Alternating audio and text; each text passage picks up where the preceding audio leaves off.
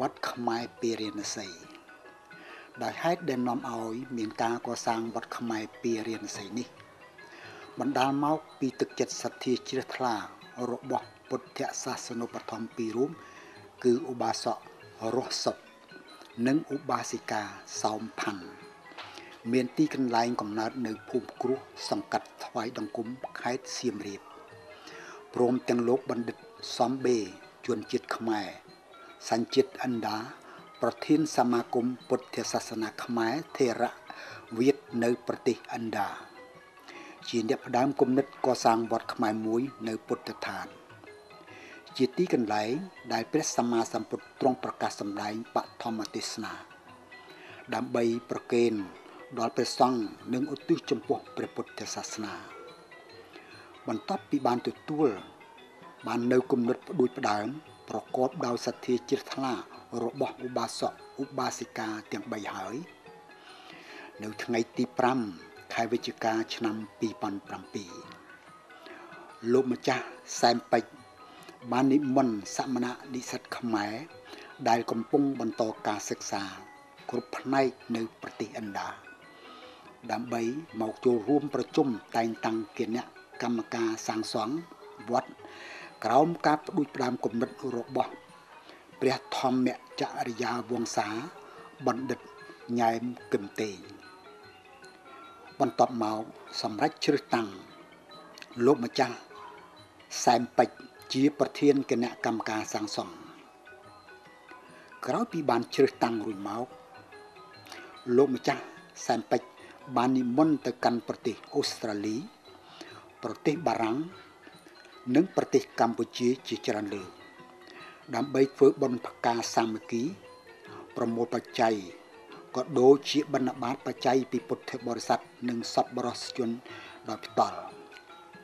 ក្រៅពីនោះ មានប្រសង់និងពុទ្ធបរិស័ទខ្មែរនៅប្រទេសកម្ពុជាក៏ដូចជាប្រទេសនានាមានសហរដ្ឋអាមេរិកកាណាដាបារាំងស្វីសនិងអូស្ត្រាលីជាដើម បានធ្វើធម្មយាត្រា ទៅអ្នកមស្ការពុទ្ធសង្វេជនីយដ្ឋាន មានទីស្ថានដែលព្រះអង្គទ្រង់ប្រសូតត្រាស់ដឹងសម្ដែងបឋមទេសនា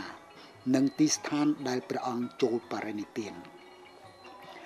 ព្រមទាំងពុទ្ធដ្ឋានផ្សេងផ្សេងទៀតដែលមាននៅក្នុងប្រទេសឥណ្ឌានិងប្រទេសនេប៉ាល់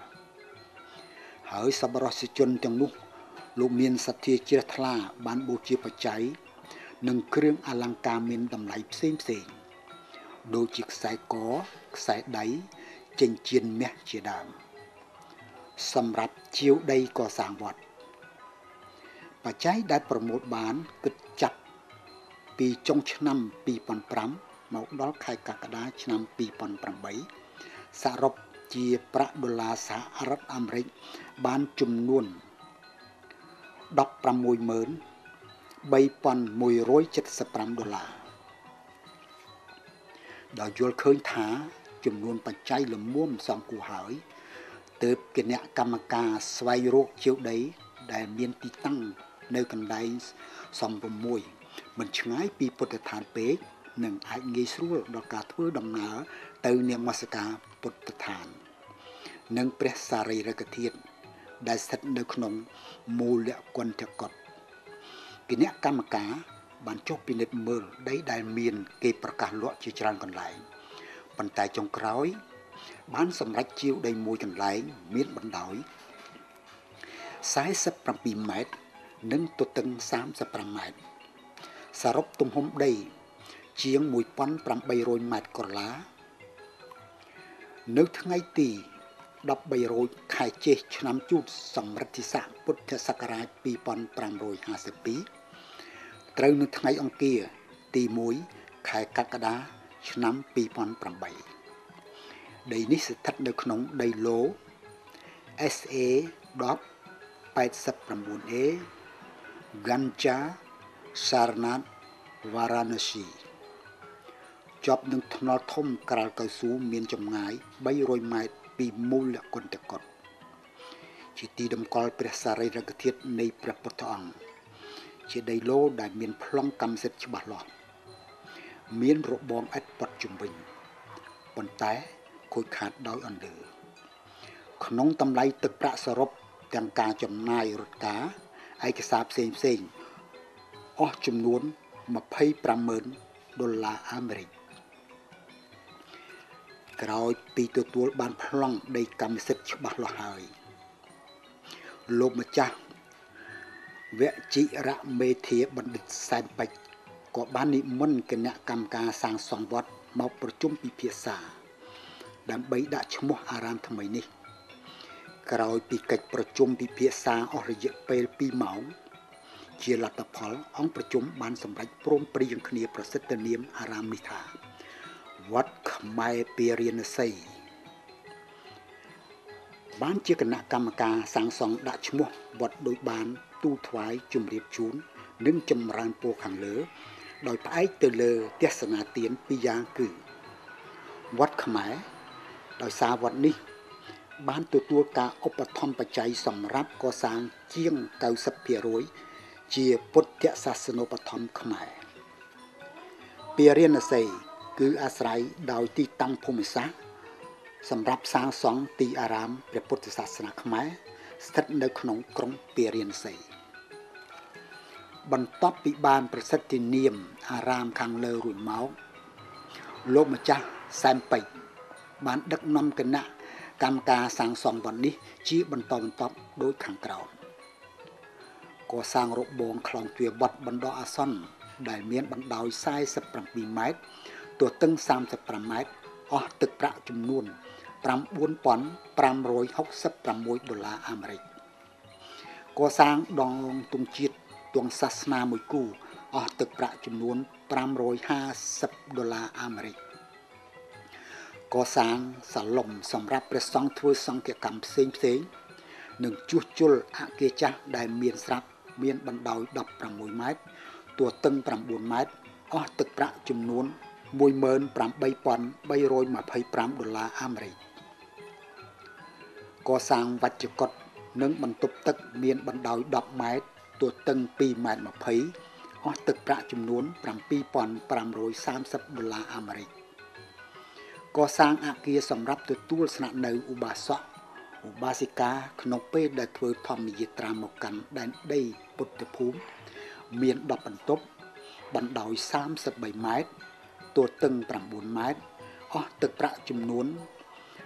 134,250ដុល្លារអាមេរិកកសាងអណ្ដូងទឹកខ្នាតធំនិងខ្នាតតូចចំនួន2អស់ទឹកប្រាក់ចំនួន7,550ដុល្លារអាមេរិករៀបចំប្រព័ន្ធទឹកភ្លើងអគិសនីក្នុងវត្តអស់ទឹកប្រាក់ចំនួន3,500ដុល្លារអាមេរិកកសាងសួនច្បារ ផ្លូវធ្វើពីឥដ្ឋក្នុងវត្តអស់ទឹកប្រាក់ចំនួន4700ដុល្លារអាមេរិកកសាងឧបដ្ឋានសាលាមួយជាន់មានបណ្ដោយ25ម៉ែត្រ50ទទឹង5ម៉ែត្រអស់ទឹកប្រាក់ចំនួន43250ដុល្លារអាមេរិកនៅថ្ងៃទី28ខែវិច្ឆិកាឆ្នាំ2012សម្ដេចព្រះពោធិវង្ស អំលឹមហេងព្រះសង្ឃនាយករងទី2នៃព្រះរាជាណាចក្រកម្ពុជា និងមន្ត្រីសង្ឃព្រះរាជាគណៈព្រះថេរានុទ្ធរៈឯកឧត្តមលោកអង្គញាលោកជំទាវលោកលោកស្រីពុទ្ធបរិស័ទទាំងអស់បានដង្ហែអង្គកឋិនទាននិងយាងជាអធិបតីក្នុងពិធីបញ្ចុះបឋមសិលាកសាងព្រះវិហារបន្ទាប់ពីបានបញ្ចុះបឋមសិលារួចមក លោកម្ចាស់សែនពេជ្របានជួលជាងបុកគ្រឹះចាប់ផ្ដើមកសាងនៅថ្ងៃទី7ខែមករាឆ្នាំ2013រហូតមកដល់ថ្ងៃទី22ខែមករាឆ្នាំ2014ព្រះវិហារនេះក៏បានកសាងរួចជាស្ថាពរដោយចំណាយទឹកប្រាក់អស់ចំនួន209,001ដុល្លារអាមេរិក។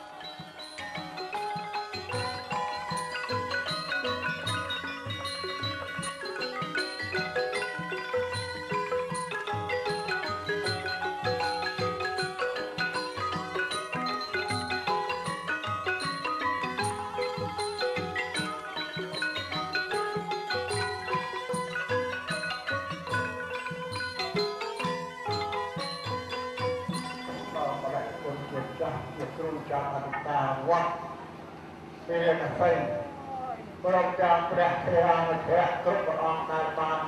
វត្តមាននិមន្តមក trong ទីនេះដើម្បីបុណ្យបញ្ចុះអន្តសិមាតែដូច្នេះទេជាខាងដើមគឺថាបដិគុណជាម្ចាស់ព្រះអង្គដែលអនុតាវត្តបានរៀបចំឲ្យបាយក្រុងពលីតាមប្រពៃនេះពុទ្ធតាមប្រពៃនេះព្រមញ្ញសាសនាខ្លះក្នុងនេះឥឡូវថ្ងៃនេះជាថ្ងៃថ្ងៃនេះជាថ្ងៃពុទ្ធ12រោចខែនេះ ឆ្នាំអសញ្ញបញ្ញស័កពុទ្ធសករាជ2557ត្រូវនៅថ្ងៃពុទ្ធទី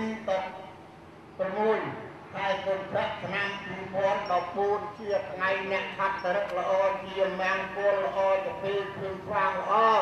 ជាពេលនៃរណរះល្អជាគណៈល្អជាយាមល្អ ដោយបដិគុណជាម្ចាស់ចៅអធិការវត្តក៏បានប្រពនៅកម្មវិធីឲ្យបាយក្រុងពលីណាមោតាសាវៈកវៈកោអរហតោសម្មាសម្ពុទ្ធសាតាំងអរហានតិគុណសា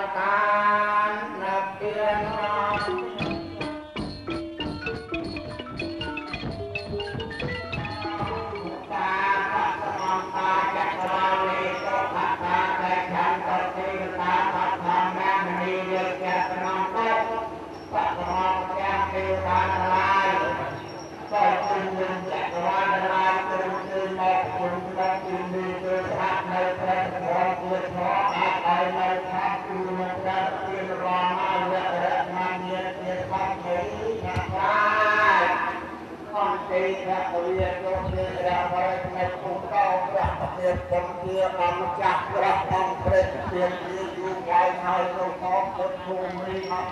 វាថោព្រះពុទ្ធជាអមចាស់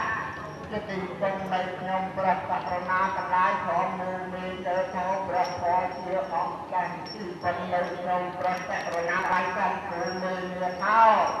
ជាសង្ឃជាអមចាស់ទីពឹងនៃខ្ញុំព្រះករុណាទាំងឡា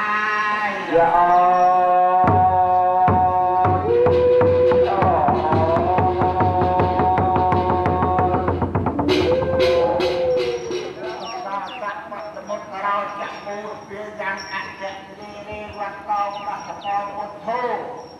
បបតស្ដេចក្រុងពាលីនាមកុំហិពធមីសិនរីវៈតាមចាក់ទឹកចាក់ហេចាក់ព្រៃព្រឹកកាទូ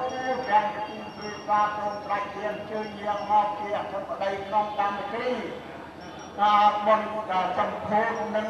បញ្ចុះខណ្ឌមាក្នុងទីវត្តរៀនអតីនេះហើយដូច្នេះទេយើងខ្ញុំគោរពនៅកម្មវិធីនេះមានពុទ្ធរូបក្នុងអង្គជាប្រធានក្រុមទាំងអ่า ព្រមទាំងបង្អែកភ័យខាងអត់បង្អាតទេព្រះព្រឹកបានលឿនហើយយកមកសម្គាល់ក្រុមទីនេះដើម្បីគោរពបូជាដល់ស្ដេចក្រុងវលីសូមស្ដេចក្រុងវលីអញ្ជើញនៅអឺទទួលនៅភោជភោជនទាំងអស់ដែលយើងខ្ញុំជាតំណាងជួបមុខឲ្យព្រះគូចៅអធិការសូមបូជាដល់ស្ដេចក្រុងវលីសូមស្ដេចក្រុងវលីអញ្ជើញវិសា តាមមានតាមបានហើយឲ្យពលពីប្រៃមានគោលបរិសុទ្ធតែមានដល់ប្រៃប្រគុណជាម្ចាស់ជាគ្រូចៅអធិការវត្តព្រមទាំងពុទ្ធបរិស័ទដែលបានជួយមកគ្រប់ទិសទីមិត្តដ្ឋានទាំងអស់ព្រមទាំងនៅបារាំងនៅអអង់គ្លេសនៅណាអន្តរអស់នោះកម្ពុជាទាំងអស់នោះខ្ញុំមិនអាចរាប់អស់បានទេហើយដូច្នេះទេឲ្យដល់មកក្នុងទឹកទីទីទឹកដីនេះក៏តែ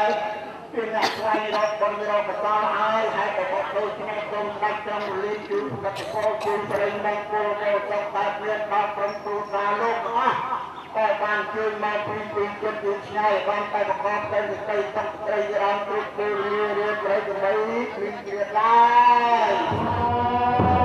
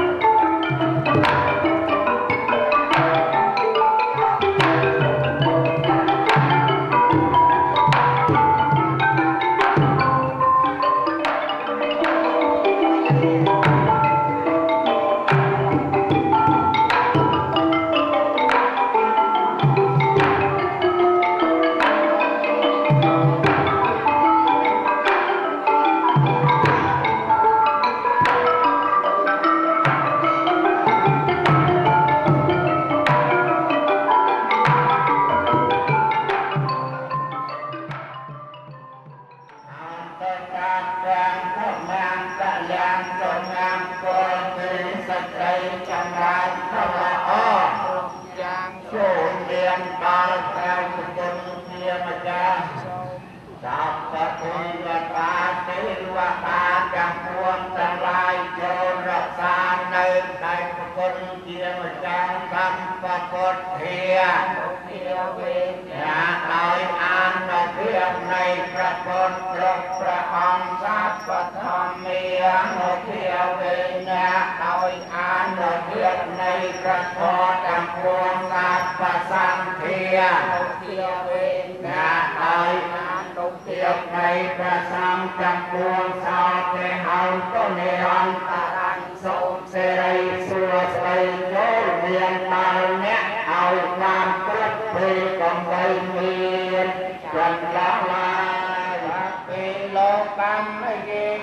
តាតាជីវន្តាហារហេតកាមនុញ្ញាគុជណាសាពេលោកអន្តមមចេតសាទីសូមអនុមោទនា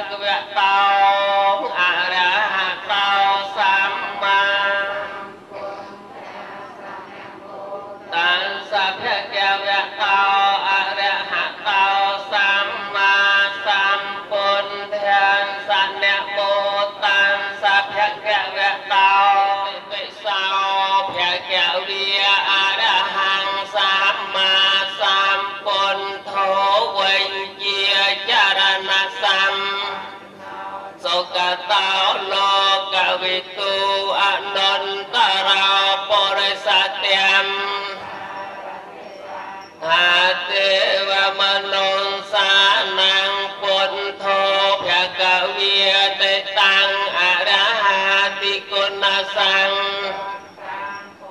ទាំងសេរសាអ្នកមានមិតញ្ញពុនទាំងអិមេសង្កា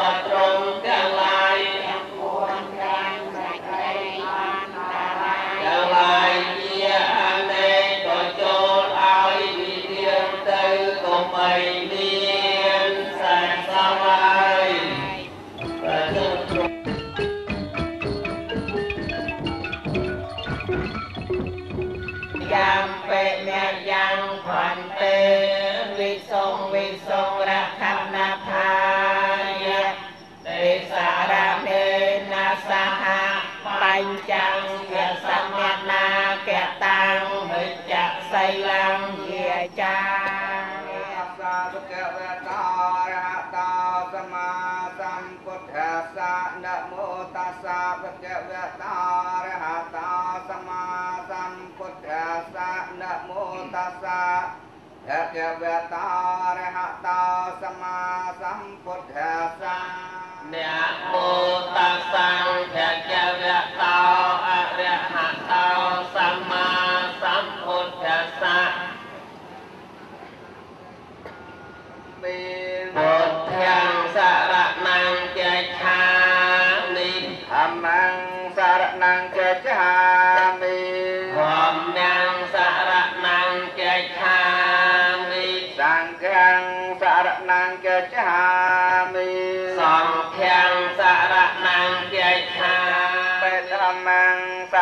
សារណង្កចាមិរុតិយំបេធម្មំសារណង្ចឆាមិទតយំបេសង្ឃังសារណង្កចាមិរុតិយំបេសង្ឃាំងសារ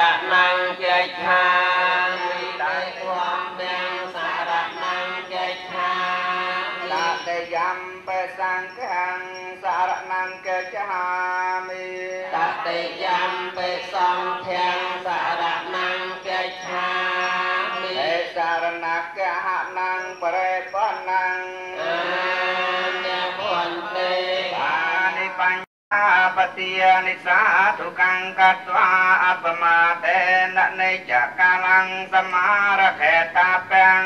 អានិភន្តិឥលេនសុគតញ្ញន្តេអ្នកទាំងឡាយទៅកាន់តាមសុបានក៏ប្រសិលសិលេនភោគសម្បទាអ្នកទាំងឡាយបានបរិបូរណ៍ដោយភោគសម្បត្តិក៏ប្រសិលសិលេននពុតញ្ញន្តេ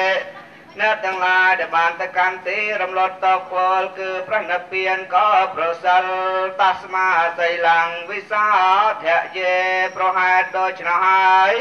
ញាតិញោមទាំងឡាយជាសប្បុរសក៏បីរក្សានៅសាររបស់ខ្លួនកុំឲ្យសៅមងឡើយ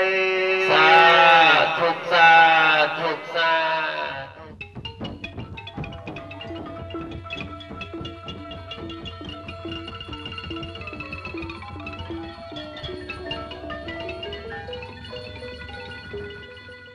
សកេកមេចោកេកេរេ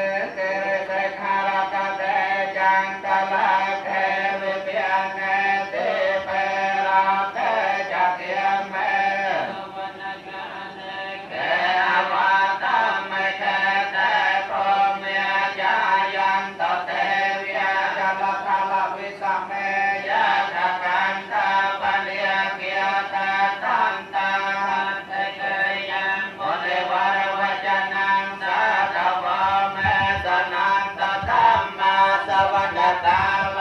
អយមកន្តធម្មសវនកាលអយមកន្តធម្មសវនកាលអយមតតនាមោតស្សៈពេពទាំងសរណង្កចាមិតតិយំពេធម្មងសរណង្កចាមិតតិយំពេសង្ឃងសរណង្កចាមិសម្ពុទ្ធេ ញ្ចព្រាតសញ្ចសហសកេបញ្ចសតសហសានិធម្មាវិសិរសាអហង្ទេសង្ឃមញ្ចសង្ឃញ្ចអតរេននមិមិហង្កមការៈនុភិវេនហន្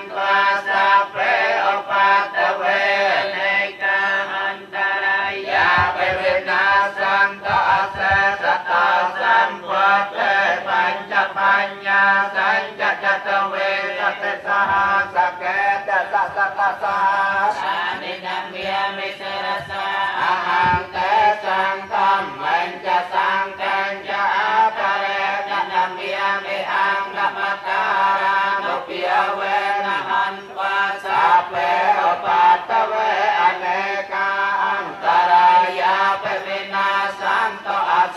ตตาสัมปตเตนวตรตเตอาตจาตาเลยสสหาสเกวิสตสตสหาสานินามิมิเสรสาอาหังเนสังกัมมัญจะสังกัญจะอาตเรนะนามิมิหังกัมมการานุเทียเว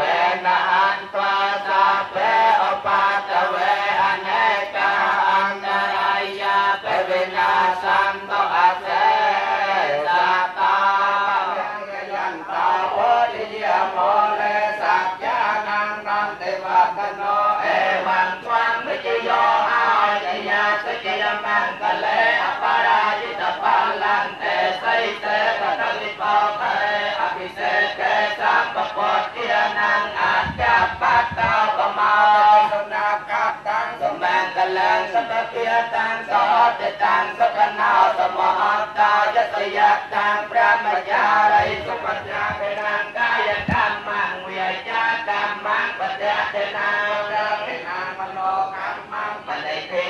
ปัจจเตนะปัจจเตนะในการว่านลปัจจเตปัจจเตนะทุกสาทุกสาทุกจันตุปัจจัยมีจำนวนมวยอังมวยร้อยรูปียังยงการนา សូមមហរណានៅបច្ច័យ4ព្រះអង្គប្រាំប្រាស់តែបច្ច័យ4យ៉ាងដើម្បីអនុគ្រោះដល់ដល់ពុទ្ធបរិស័ទយកសូមយាតញោមត្រេកអរក្នុងបុណ្យអនុមោទនា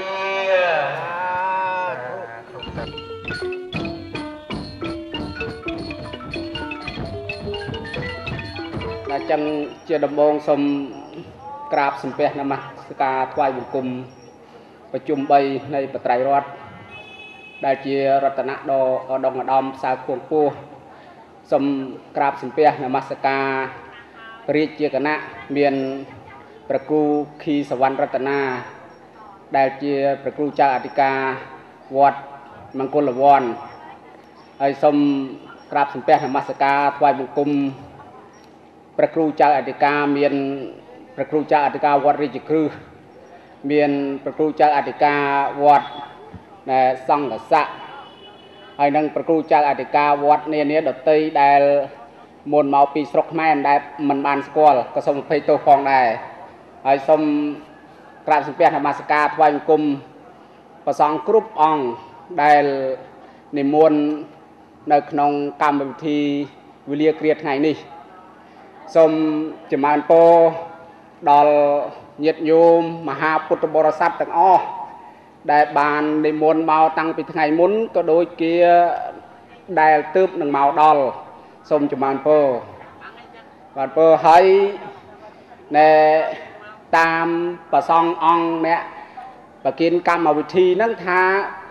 មានធរៈដីកាសំណេះសំណាល ពីការកសាងវត្តប្រមាណក៏បានហ្នឹងហើយអញ្ចឹងញាតិញោមនៅឲ្យស្ងៀមចាំស្ដាប់ឲ្យច្បាស់ណាតែអញ្ចឹងទេមិនដឹងរឿងទេញោម មុននឹងបកគិននឹងជម្រាបពីកិច្ចការកសាងអាត្មាក៏សូមអឺណែនាំខ្លួនឲ្យញាតិញោមបានស្គាល់ដូចមិនទាន់ឮគេណែនាំអាត្មា nói ណែនាំខ្លួនឯងខ្ញុំគណៈអាត្មាភាពព្រះអង្គសែមពេជ្រក៏បានបួសពីអឺកើតនៅឆ្នាំ1970បួសនៅឆ្នាំ1986បាន មកគង់នៅស្រុកឥណ្ឌាឆ្នាំ1997យល់មកបើអញ្ចឹង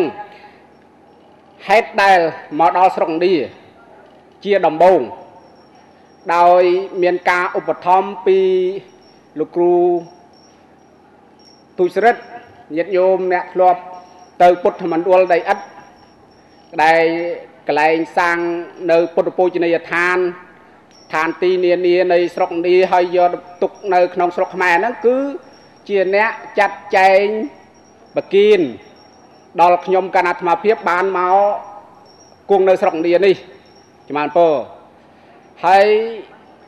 នៅថ្ងៃដែលចេញមកហ្នឹងគឺជាថ្ងៃមួយដែលមានបញ្ហា នៅ ក្នុងស្រុកទេសយើងចំបានពោថ្ងៃ7ថ្ងៃ 6 7ដែលមានបញ្ហា នៅស្រុកខ្មែរហ្នឹងគឺថ្ងៃ2ថ្ងៃមុនដែលថ្ងៃអាត្មាចេញមកបានពោណាគេហៅថាម៉េចខ្មែរដូចថារត់បហាអញ្ចឹងណាញោម97ថាម៉េចប្រើឲ្យត្រូវមើលព្រះអង្គខីសវត្តរតនាហ៎6 7អីណា6 7ហ្នឹងគឺថ្ងៃមានបញ្ហាខ្ញុំកណ្ណាត់អាភិបសបុតថ្ងៃទី9 ចាំបានពោប៉ុន្តែនៅថ្ងៃទី9នោះចេញមកអត់រួចដោយយន្តហោះបិទអស់ចាំបានពោថ្ងៃនោះហើយដូរទៅដល់ដាក់កម្មវិធីថ្ងៃទី13ខែ7ហ្នឹងថ្ងៃទី13ខែ7ឆ្នាំ97បើហ្នឹងហើយមកដល់ហ្នឹងគឺថាអាត្មាមិនចេះទេញោមភាសាអង់គ្លេសអីភាសាឥណ្ឌាអីហ្នឹង គឺថាមិនយល់រឿងអីទេក៏តែចេះបាទខ្ញុំទៅនេះទៅនោះអីតិចតួចហ្នឹងមកដល់មកដល់ស្រុកឥណ្ឌាហ្នឹងចេញពីយួនហោះអត់ដឹងអីទេមិនចេះបំពេញហ្វមផងគេឲ្យក្រាស់មកកាន់មកគេជាវាយឲ្យចេញទៅចេញមកអត់ដឹងថាយកអីវ៉ាន់យកកបោបយកកតាទៀតហ្នឹងហើយចេញមកដល់រជួបណោះលោកបណ្ឌិតសំបេណាញោមណោះនោះលោកបណ្ឌិតសំបេទៅទទួលអាត្មា ហ្នឹងហើយទៅទទួលមកដល់ថាញោមបានពោកតាបនៃណាអាត្មាថាតាបនៃណាអាត្មាដាក់នៅស្រុកខ្មែរហ្នឹងនៃណាទៅយកវិញយ៉ាងអាត្មាក៏ទៅយកវិញណែរឿងមួយដែលនឹកគិតថាយើងមិនធ្លាប់ដើរណាញោមមិនដឹងកតាបនៃណាទេអាត្មាស្មានទៅយកនៅវត្តញោមសំបេញោមវត្តលោកតាមហាយសីប្រសើតក៏អាត្មាចេញមកហ្នឹងគាត់ថាចូលទៅចូលទៅចូលទៅវិញចូលទៅរកកតាបនឹងវិញបានទៅយកកតាបមកវិញ ណាដល់ទៅពេលបានកតាបមកណែលោកតាមិនឲ្យចូលវត្តទៀត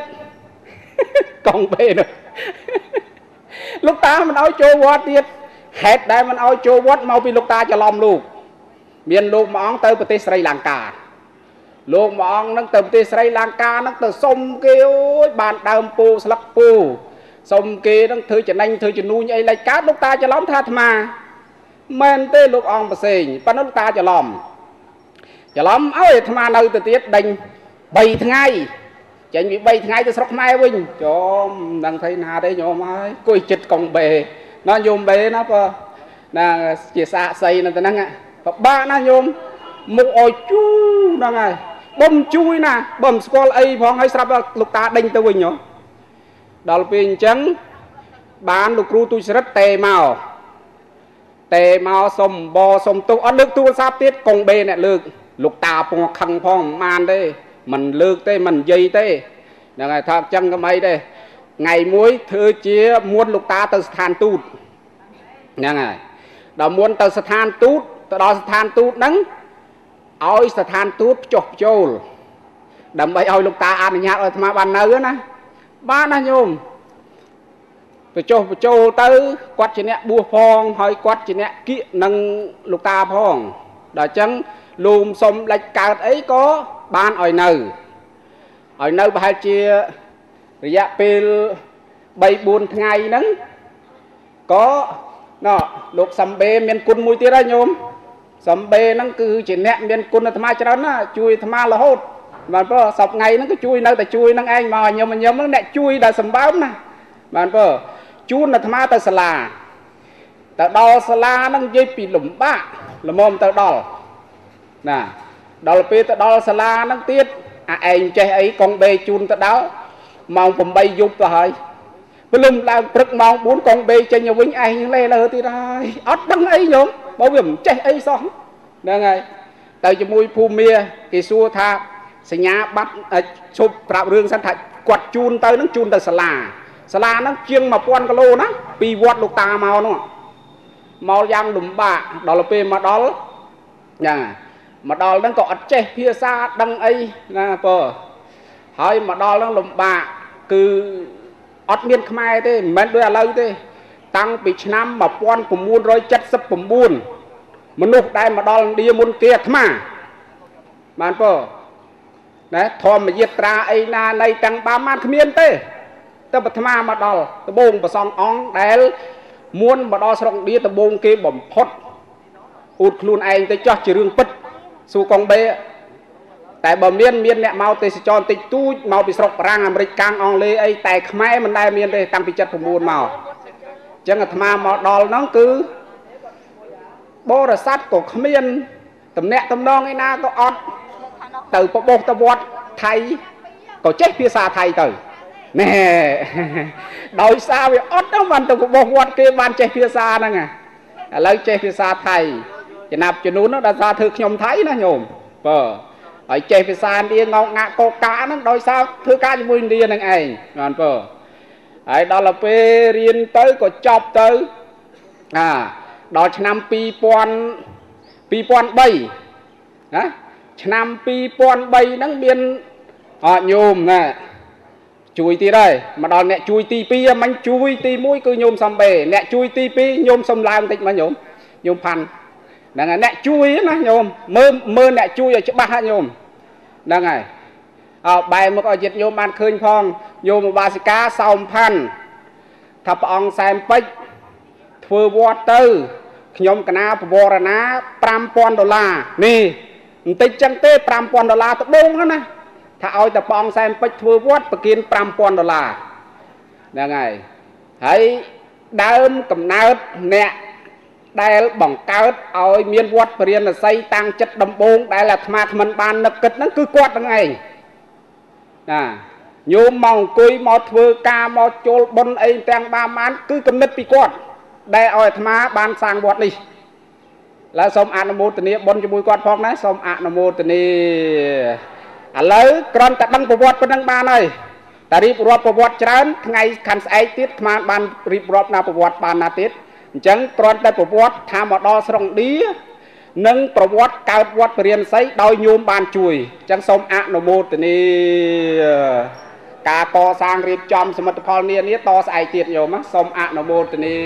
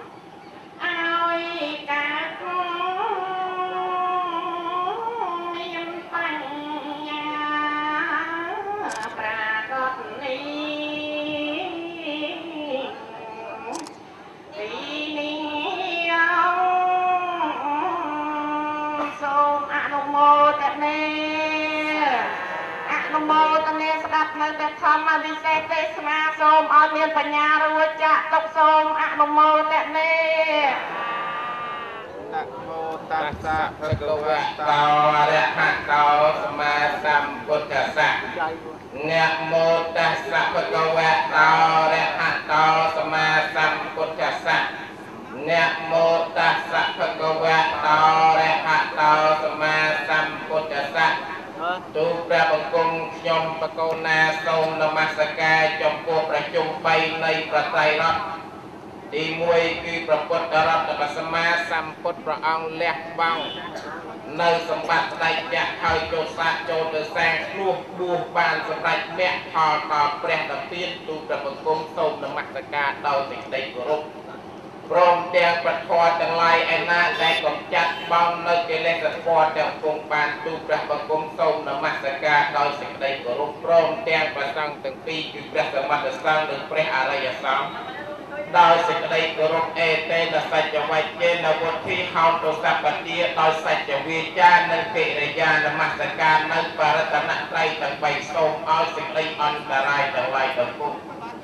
ដែលបំរុងនឹងកើតមាននៅក្នុងទីនេះបវិសជាចេញចាកឆ្ងាយពីទីនេះទៅនឹងសូមឲ្យសេរីសួស្តីជ័យមង្គលវិបុលសុខគ្រប់ប្រការកើតមានដល់អលោកអ្នកមានញោមពីគុណបរិស័ទដែលអស់ចាប់តាំងពីពេលនេះតរៀងទៅហើយបន្ទាប់មកទៀតទេសនាក្រេ3នេះហៅថាសង្កីតិកម្មសង្កីតិកម្មនេះប្រែមកថាទេសនាក្រេ3 ហើយរៀបចំប្រារព្ធពិធីនេះតាំងពីពេលដែលព្រះសម្មាសម្ពុទ្ធព្រះអង្គទ្រង់រំលត់ខណ្ឌចូលកាន់ព្រះនិព្វានទៅបានជាង3ខែរៀបចំសង្កេតកម្មនេះគេហៅថាបឋមសង្កេតនៅក្នុងឱកាសនេះមានព្រះធម្មកតិកាចារហូតដល់3ព្រះអង្គចឹងទេសូមធ្វើការតាំងងារនៅគួរនទីតាំងខតិកនេះប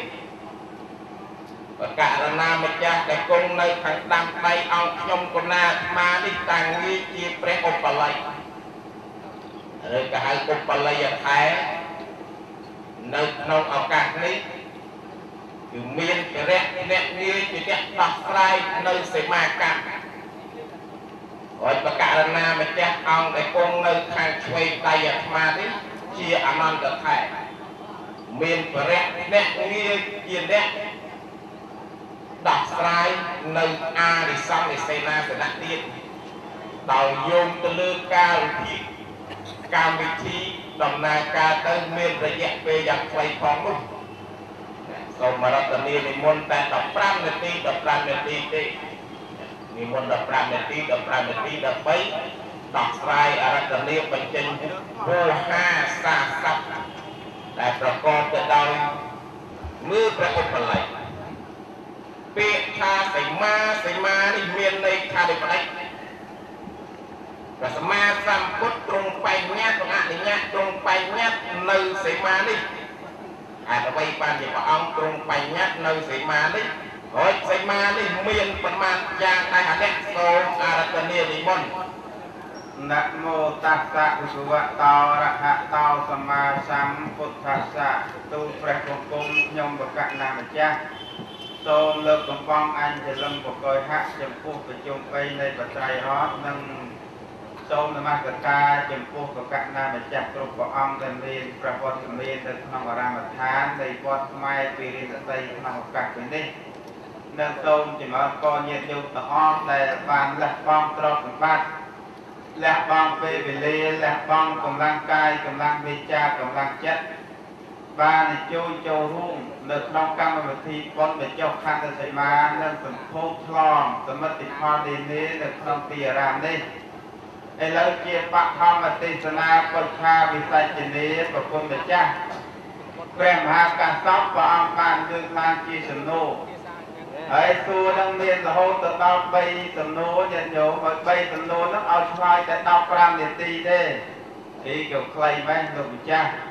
បើបានតែ15នាទីនោះប្រហែលជាមិនគ្រប់ទេសំណួរហ្នឹងញោមពណ៌នាយ៉ាងហោចក៏ត្រឹម1ម៉ោងទៅ2ម៉ោងដែរណា3សំណួរហ្នឹងឲ្យពឹងស្ដារប៉ុន្តែឥឡូវនេះសួរតែ3សំណួរហ្នឹងឲ្យឆ្លើយទៅ15នាទីប៉ុន្តែឆ្លើយទៅតាមកលៈទេសៈប្រកេតប្រមាកាសសពទៅចោះពាក្យថាសីមាសីមាបើយើងសំដៅយកនៃទូទៅគឺជាទីដែនកំណត់ ព្រំបតលដែនខេត្តខណ្ឌនឹងយើងហៅថាដែនកំណត់ដែនកំណត់ហ្នឹងសីមាប្រែទៅទីឋានឯណាដែលសំប្រងព្រៀងគ្នាហើយសោកសំណមត់ដោយកម្មវិជាទីនោះលោកកំណត់ឲ្យឈ្មោះទៅសីមានេះដូចជាក្នុងឱកាសពេលនេះគឺប្រជុំសំនិមន្តមកអំពីទិសទាំង8មាន ទីចិត្តទីផងមានតាំងពីឆ្លងមកពីបរទេសផងនោះមកប្រជុំនេះសំណមត់ទីនេះឲ្យទៅជាសីមាប្រចាំការសំណមត់ដោយកម្មវិជាគឺជាទីដែលគេឲ្យឈ្មោះទៅសីមា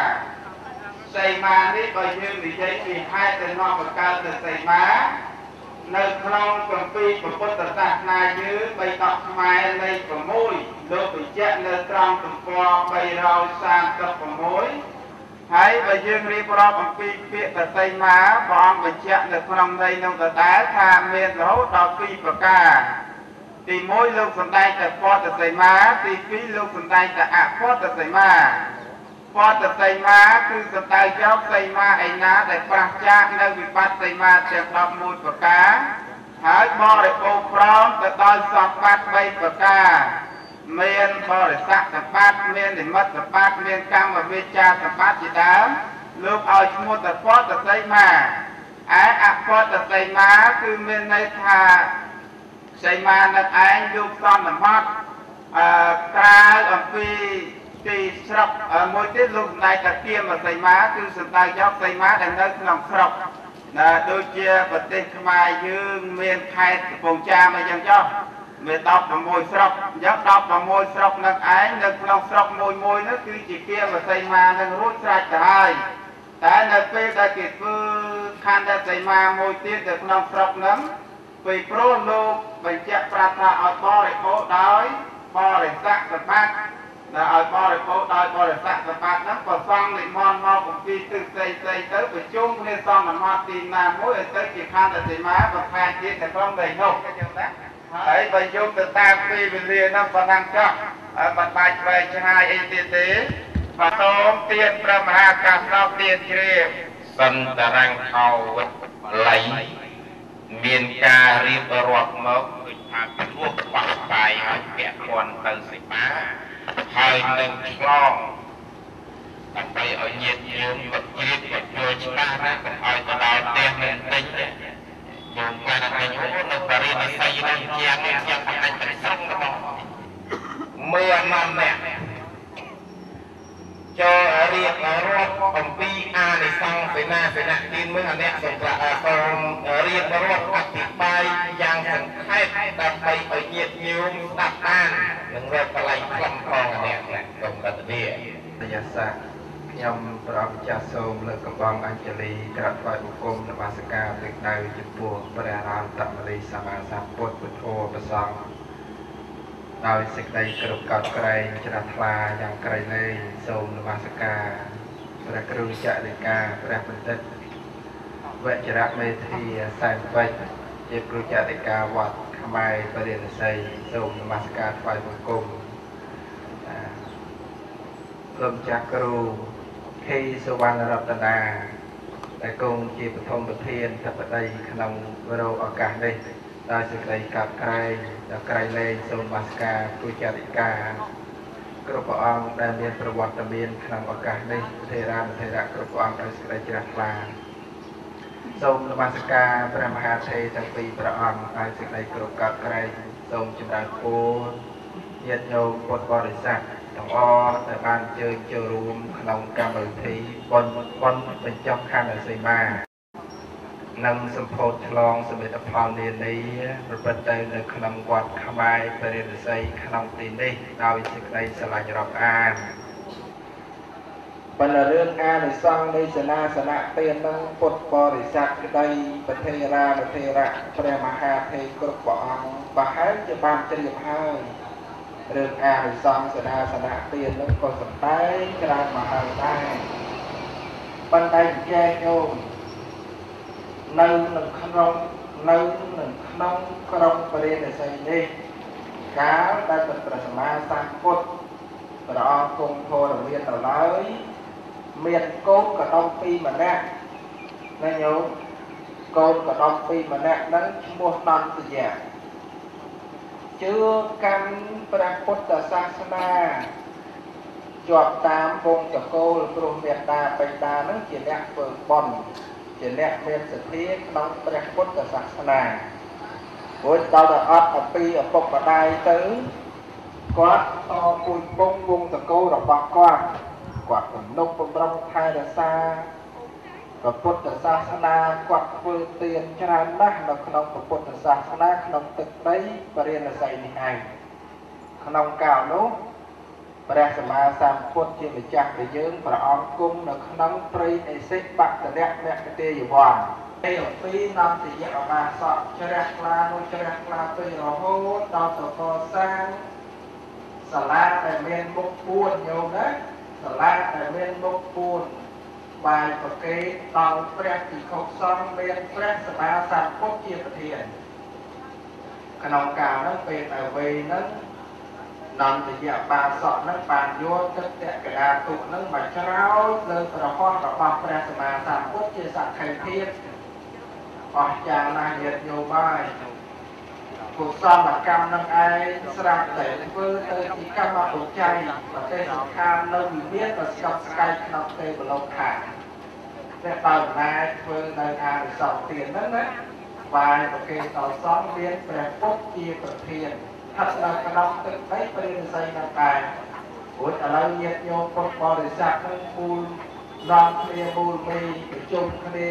ឥឡូវយើងតាមមក ធ្វើបន់បញ្ចប់ខាងសេវាគឺទៅធ្វើបន់ឆ្លងយកស្មាគឺទៅធ្វើបន់ឆ្លងធ្វើបន់ដើម្បីឲ្យបានការធ្វើជាប្រយោជន៍សម្រាប់ព្រះភិក្ខុសង្ឃក្នុងសាសនាបានធ្វើការផ្សេងផ្សេងហើយនឹងជាឆ្លងសមិទ្ធផលមានមានមានអាគារដាក់នៅជាដើមនេះជាដើមនេះដែលនេះក៏គឺជាសេនាសនៈនេះម្យ៉ាងទៀត នៅក្នុងទេវតាសត្វយុទ្ធមានទេវតាអស់មួយញោមចុះមកសួរព្រះសម្មាសម្ពុទ្ធថាបបិទ្ធព្រះអង្គព្រះនិរតុតើបុគ្គលធ្វើបុណ្យអីទៅបានបុណ្យបានទៅបានបានបុណ្យទាំងយប់ទាំងថ្ងៃបានព្រះសម្មាសម្ពុទ្ធព្រះអង្គឆ្លើយតបថាមនាលទេវតាបុគ្គលណាដែលបានកសាងទីសេនាសនៈ ឲ្យជាទានបុគ្គលនោះឈ្មោះថាបានធ្វើបុណ្យបុណ្យนั้นគឺចម្រើនទាំងយប់ទាំងថ្ងៃនេះគឺជាអានិសង្សនៃបុគ្គលបានកសាងនៅទីសេនាសនៈទានចឹងខ្ញុំប្រកាសណាយោងទៅតាមកាលពេលវេលាមិនបន្តឲ្យបានវែងឆ្ងាយទេឆ្លើយយកយកមកមកយកទៅសួងបានសួងចែកគ្នាជាមួយព្រះមហាទេណាចឹងខ្ញុំកណាសូមការអធិស្ឋាន នឹងមានចំណុចខាត់ខ្វះខ្វះខាតត្រង់ចំណុចណាមួយប្រកេព្រះមហាកាសសពសម្បិតបន្ថែមសូមអារាធនានិមន្តសូមអនុមោទនីអយ៉ាងសង្កបេរសមតាកតទេសនាដែលអង្គជុំគុណាអាត្មាទៅបីសំដែងប៉ុណ្ណេះ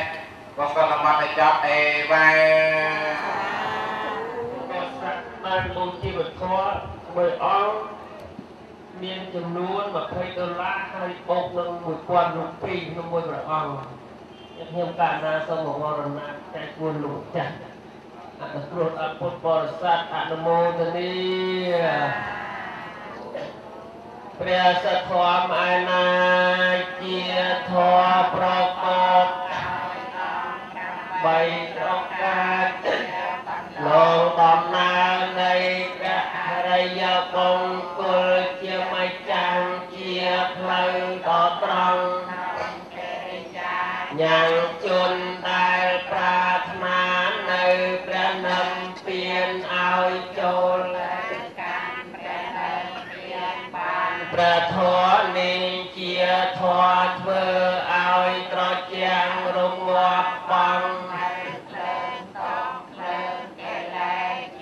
ធម៌ដ៏អន្តមជាគុណញ៉ាំងសិនឲ្យខ្ញុំប្រកាសណាសូមក្រាបថ្វាយបង្គំនៅធម៌នោះ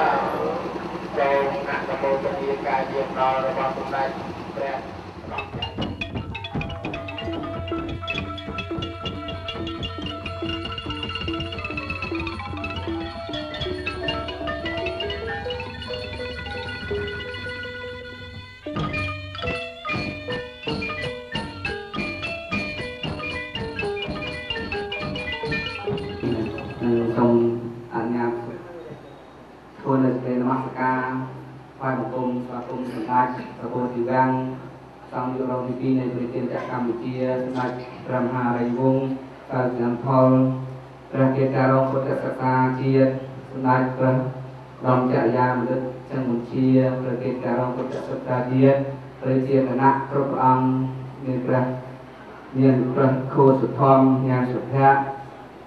ព្រះប្រធានផ្នែកពុទ្ធិកសិក្សាជាតិនៅក្នុងវិទ្យាល័យខាងនិងព្រះមានវងខឹមសនព្រះនិគុណរាជភ្នំពេញជាប្រតិការពុទ្ធសិក្សាជាតិព្រះស្រីសមតិវងศ์រុលសុគន្ធាប្រធានផ្នែកនៃវិទ្យាល័យខាងពុទ្ធសិក្សាជាតិនិងប្រជាគណៈគ្រប់ព្រះអង្គទេរានុទេរៈនិមន្តអមដំណើរសម្ដេចព្រះពុទ្ធិយ៉ាងក្នុងដំណើរ ធម្មយាត្រាប្រកបដោយអត្ថន័យកណ្ដានៅក្នុងឱកាសពេលនេះយើងនឹងលើកទៅទាវញាតិញោមពុទ្ធបរិស័ទទាំងអស់ដែលបានអញ្ជើញមកក្នុងគណៈធម្មយាត្រា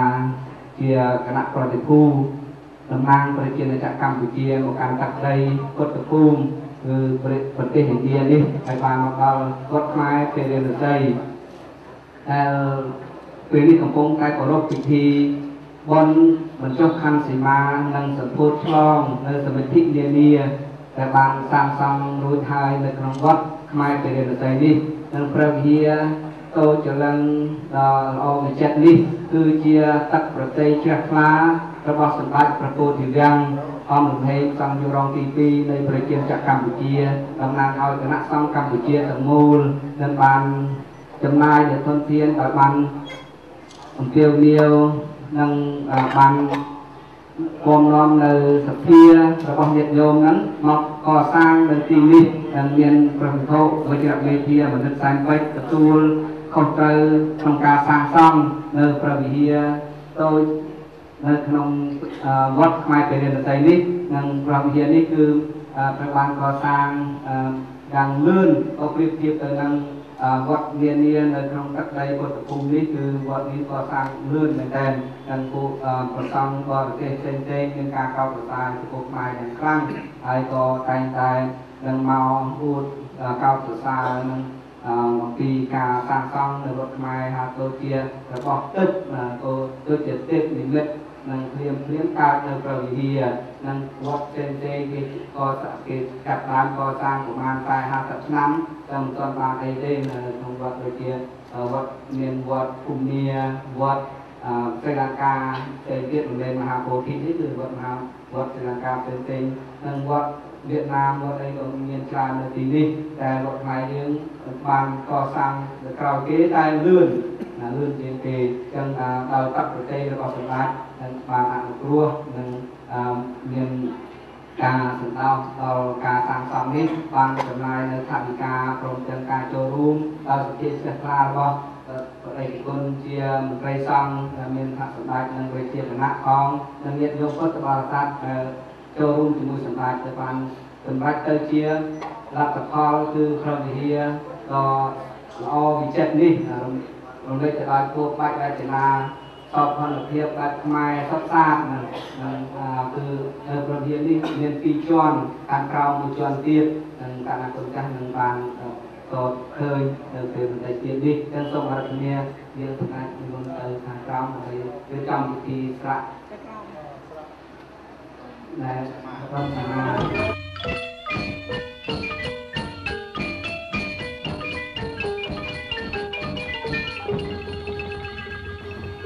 សូមអនុមោទនា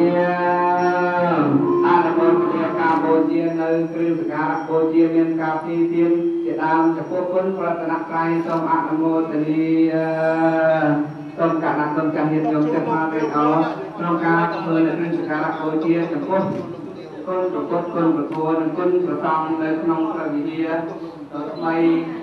នៅក្នុងវត្តខ្មែរពីរិណស័យគ្រប់គ្រប់ព្រះអង្គគ្រប់គ្រប់គ្នាសូមអនុមោទនា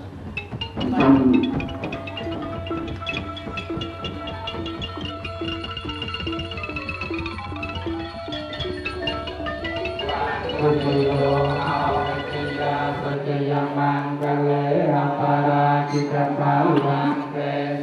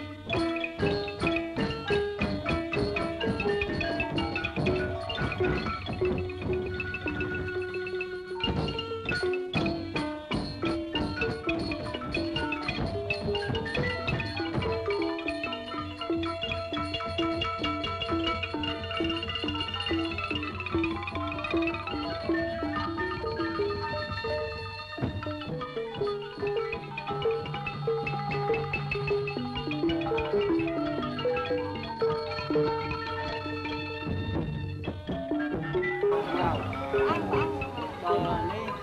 ចាំឲ្យឆ្លក់បានទេត្រៀមកាន់ត្រៀមកាន់ជើងញាតិញោមតែត្រៀមកាន់ចុះប្រចាំសម្ដេចលោករៀបចំនេះគឺពិធីតាមបែបប្រពៃណីពុទ្ធសាសនារបស់យើងនិងបានត្រឹមត្រូវនិងទោះបីយើងនៅឆ្ងាយប្រទេសយើងក៏ដោយតែគិតថា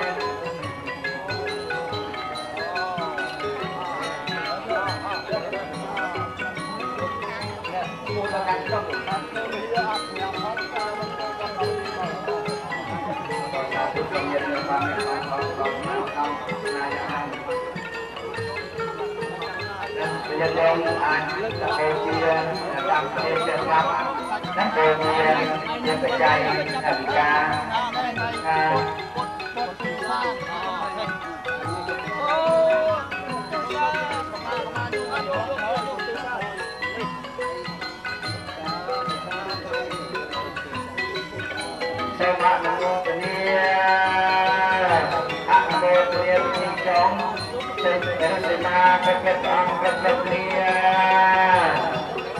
ដែលតាមកាត់ចិត្តចេះថាដល់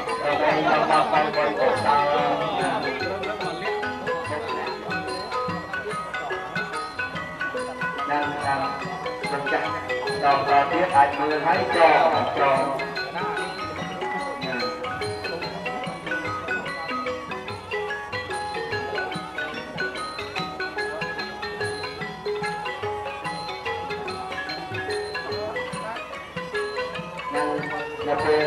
រសៀលមិញនេះគឺបងប្រតិការចាបានសម្ដែងប្រតិមាដល់ខ្លីហើយស្ដីអំពីនឹងស្ដីមាគាត់ឡើងចូលហើយបានជ្រក់ដែរស្ដីមាតាមលោកវាយើងចចាំង់ធ្វើពិធីចូលមកនេះជានិមិត្តទុកអានោះសិនដែរ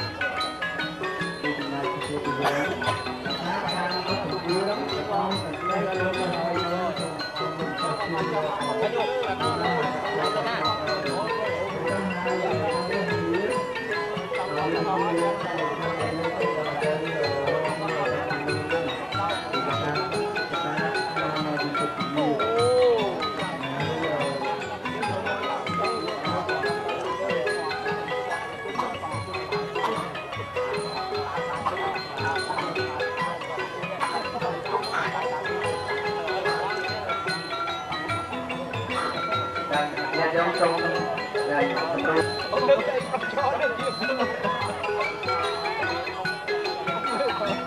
នឹងបូជាទីនេះហើយបូជា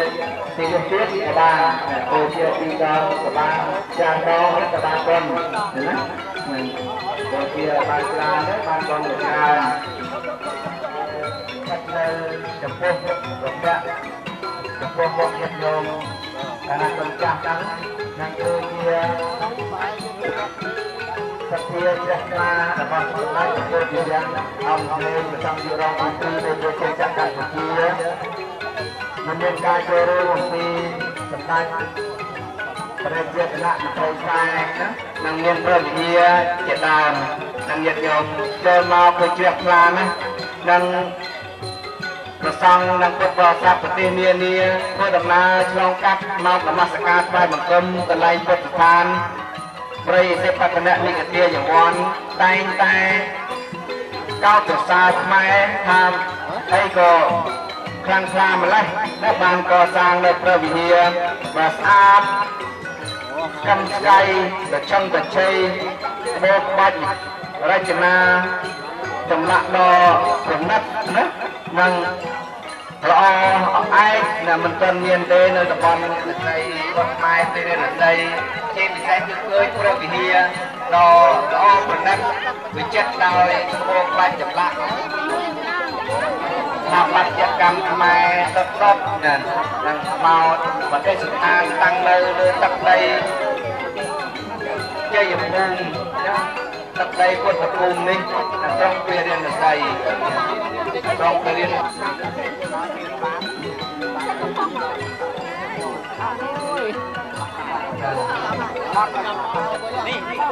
cho nên nó sẽ đi chơi nó sẽ យើងញាតិញោមមកលើក្រោយគឺបាត់យកបានឃើញជាន់ខាងលើ ហើយបានទៅបានទៅជួយគាត់នៅ bán này đâu có nói khắc dịch thì sáng đấy đâu ngà ngà đó trái tiên xài là tiên học nuôi đó là là hay tiên tiên xài một tiên tiên xài cái lúc nào tao không không tiên ba điện ba điện បាយក៏បានដល់ទៅដល់ទៅចាប់ពីតាមចឹងណានេះខាងតាមទៅ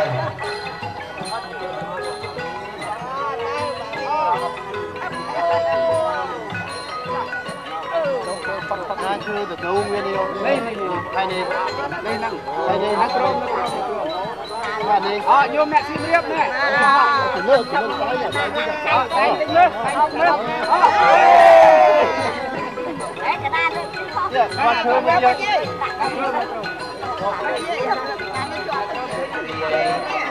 มันโตเจียมันยักษ์ลาหายแต่เกิดสักพอที่ตั้งแต่ยักษ์ลาลายยักษ์ลาลาย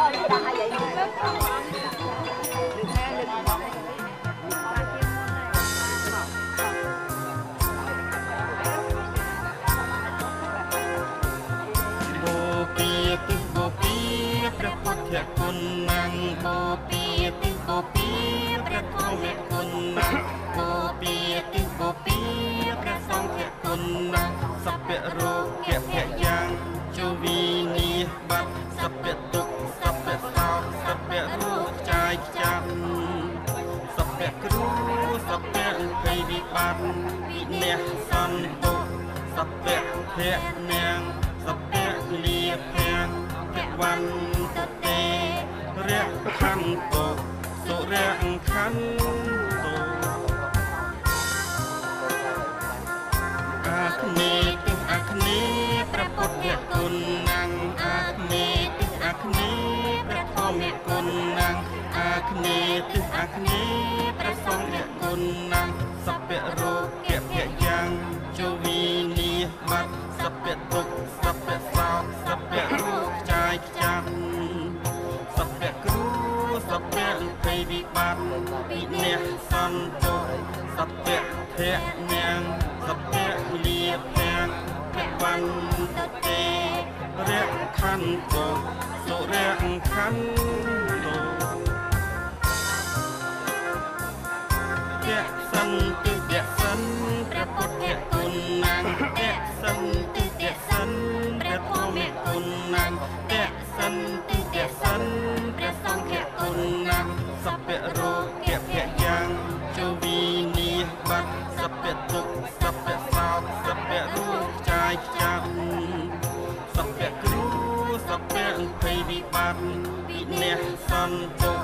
សពៈធៈនាងសពៈលីទាំងភវន្តុទេរៈខន្តុសុរៈខន្តុនិរដីនិរដីព្រះពុទ្ធគុណណាងនិរដីនិរដីព្រះធម្មគុណណាងនិរដីនិរដីព្រះសង្ឃគុណណាងសពៈរូបភភយ៉ាងជូវី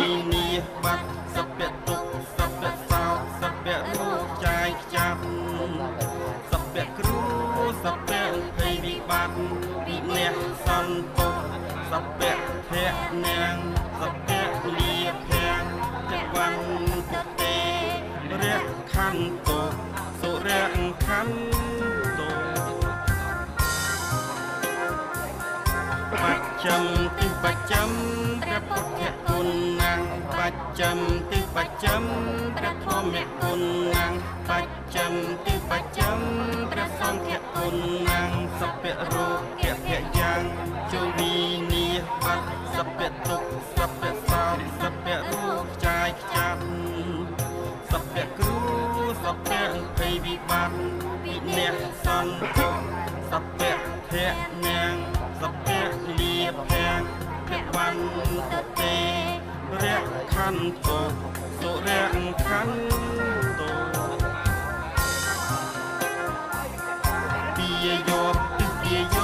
ព្រះពុទ្ធគុណណាងពីយោទិពីយោ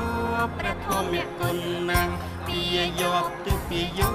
ព្រះសង្ឃគុណណាងសពៈរូបភភយ៉ាង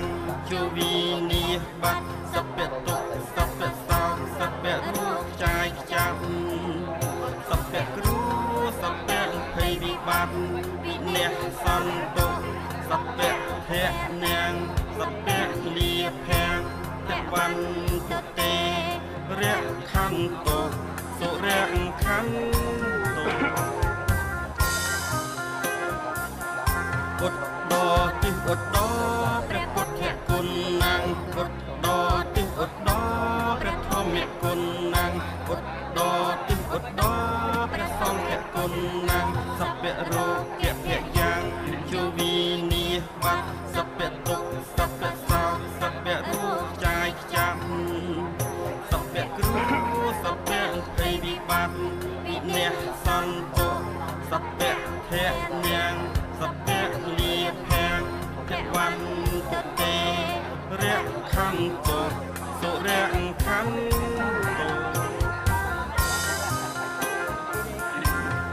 សានទិសអេសានព្រះពុទ្ធគុណណាងអេសានទិសអេសានព្រះធម្មគុណណាងអេសានទិសអេសានព្រះសង្ឃគុណណាងសពៈរូបភភយ៉ាងជូវីនីបាត់សពៈទុកសពៈសោសពៈរូបចាយខ្ចាំសពៈគ្រូសពៈភ័យវិបត្តិវិនះសន្ទុសពៈភៈនាងសពៈលី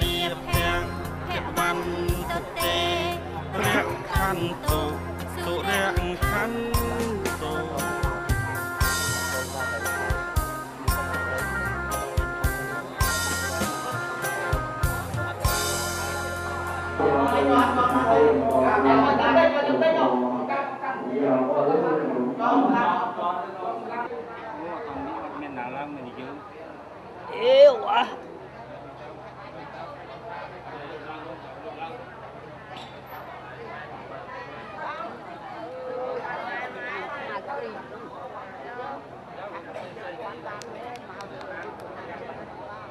好的好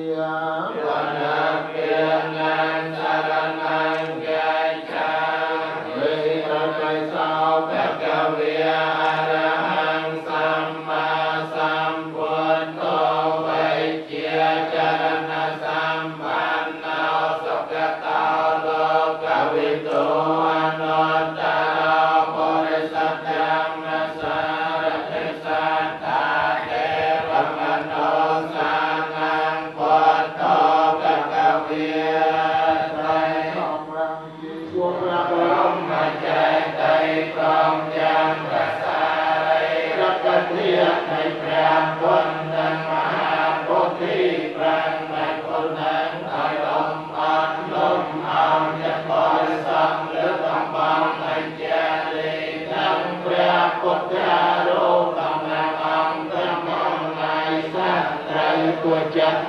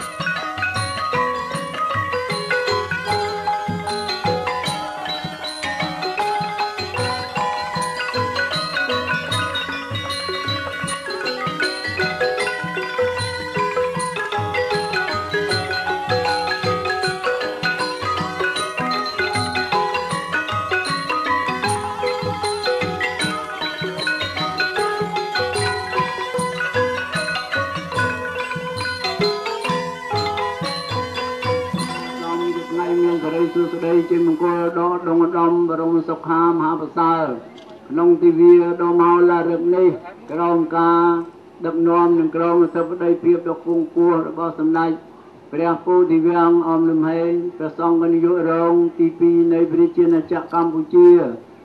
បានព្រមទាំងសម្ដេចទាំងពីរព្រះអង្គនិងព្រះរាជាគណៈគ្រប់ឋានានុក្រមប្រទេរានទេរៈគ្រប់ព្រះអង្គនិងពុទ្ធបរិស័ទដែលអញ្ជើញមកពីគ្រប់ទិសទាំង8ក្នុងប្រទេសក្តីក្នុងនៅបរទេសក្តីបានមូលមតិគ្នា ជាឯកច្ឆន្ទដើម្បីកសាងនៅទីសេនាសនៈមានព្រះវិហារនេះជាដើមដើម្បីតម្កល់ទុកជាសម្បត្តិពុទ្ធសាសនានៅទី អារាមវត្តខ្មែរជារៀនស័យនេះហើយក្នុងឱកាសពេលនេះក៏រៀបចំបង្ហូតនៅទងសាសនា និងទងជាតិនៃព្រះជាណាចក្រកម្ពុជាដូច្នេះខ្ញុំកណាសូមលើកនឹកបួងសួងពុទ្ធគុណរតនត្រ័យកាយទាំង3ទេវតាទាំង10000លោកធាតុមានភូមិទេវតាវត្ថុទេវតាដែលថែរក្សានៅទីវត្តខ្មែរពារាណសីនេះ អាយន្តោសូនយាងមកជាអធិបតីក្នុងពិធីបង្ហូតទងជាតិនិងទងសាសនាពេលដង្ហូតទៅកាលណាហើយអកើតមានសេរីសួស្តីជ័យមង្គលបសុខឧការជាពិសេសសូនបានសុខសន្តិភាពក្នុងសកលលោកទាំងមូលតរៀងទៅសូមអនុមោទនា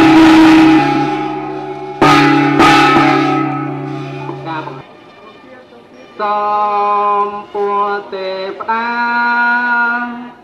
រាសាមហាក្សត្រយើង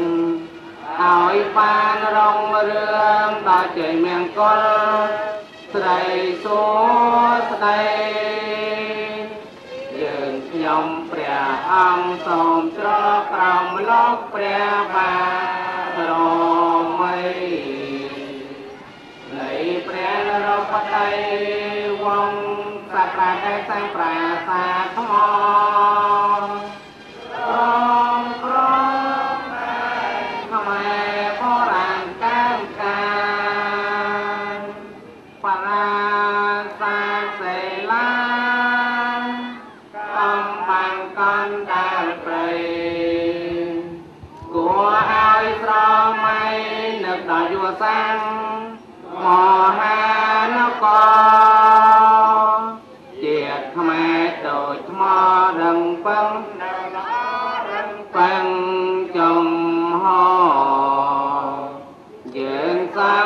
ង្ឃឹមពប្រហ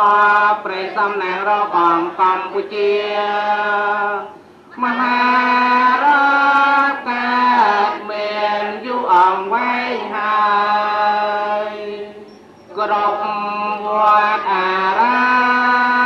មលើតែសោសាប់ធរសោតដោយអំណាចរំលឹកព្រះគុណ ពុទ្ធសាស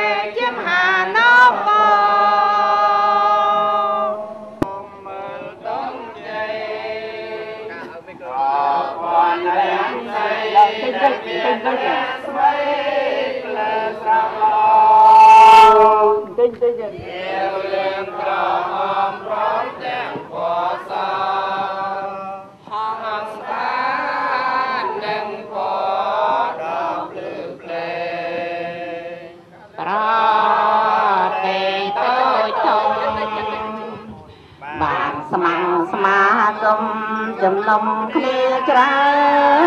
នអាណែព្រមយកព្រះស្មៃព្រះពុទ្ធគួត្រេប្រសាពុនពេក្រៃកំឡងធ្វើជាសញ្ញា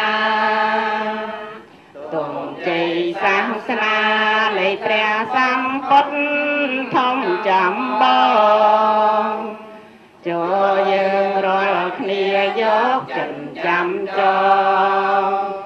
ណាត់ដល់ព្រះ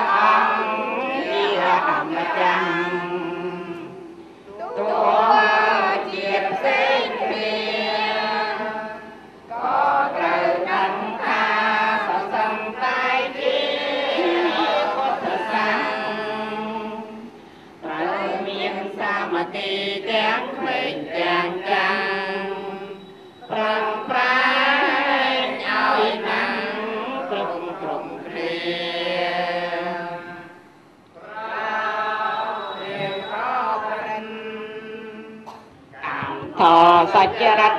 ឈួតទៅកម្មឋាននឹងពៀន